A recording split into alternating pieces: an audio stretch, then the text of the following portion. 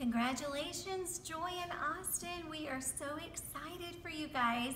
This new little blessing that God has given you. And uh, we couldn't be more thrilled for our 10th grandbaby. This is really, really wonderful.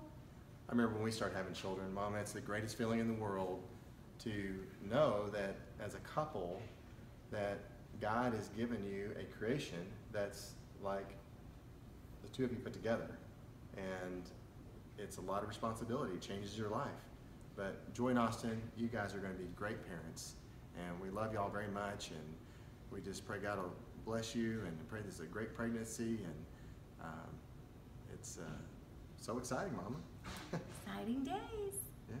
Well, a 10th grandbaby on the way. Congratulations, guys. We love you.